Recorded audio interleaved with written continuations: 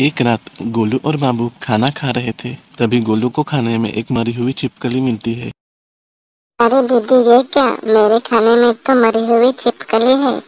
आपको तो खाना बनाना भी नहीं आता। अगर इसे खाकर मैं मर जाता तो आप लोग दूसरा गोलू कहाँ से लाते? ऐसा घटिया खाना आप दोबारा मुझे मत खिलाना। ऐसे कहकर गोलू गुस्से में ही रानी को थप्पड़ मारता है। रानी को इस बात का बहुत बुरा लगता है। वो गुस्से में ही गोलू को तीन दिन तक भूखा रखती है। गोलू तीन दिन तक खाने के लिए तरसता रहा और भूखे पेट यूँ ही उन लोगों को देखता रहा।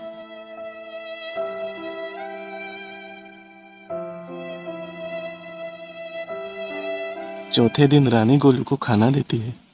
तब से लेकर आज तक गोलू चुपचाप बिना कुछ कहे अपना खाना खाता था और अगर किसी दिन खाने में छिपकली आती थी तो वो पहले छिपकली खाता था बाद में खाना।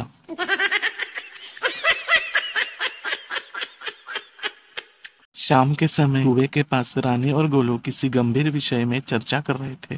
दीदी तीन दिन से हमने कुछ नहीं खाया है। अगर आज रात भी हम खाली पेट सो जाते हैं तो मुझे लगता है हमारी आँखें कल स्वर्ग में ही खुलेगी। तभी कुएँ में से एक मेंढक बाहर आता है। बच्चों, तुम्हारी बातें सुनकर बहुत ही दुख हुआ। अगर तुम मेरे पहले का सही से जवाब देते हो तो उपहार के तौर पर मैं तुम्हें कुछ देना चाहती हूँ। कौन सी पहेली? तो सुनो मेरी पहेली। हरा आटा, लाल पराठा मिलजुल कर सब सहेलियों ने बांटा। जवाब बिल्कुल ही आसान है। हाथ में लगाने वाली मेहंदी। तुमने सही जवाब दिया। इसके फलस्वरूप मैं तुम्हें ये जादुई थाली देती हूँ। इस थाली को ज़मीन पर रखते ही इसमें जादू से भोजन प्रकट होगा। उस जादुई थाली को ज़मीन पर रखते ही उस थाली में से खाना प्रकट होता है। रानी और गोलू उसी खाने को खाकर अपना पेट भरने लगे। अगर आपको हमारी वीडियो अच्छी लगी हो तो चैनल को सब्सक्राइब करके बेल नोटिफिकेशन ऑन कर दो।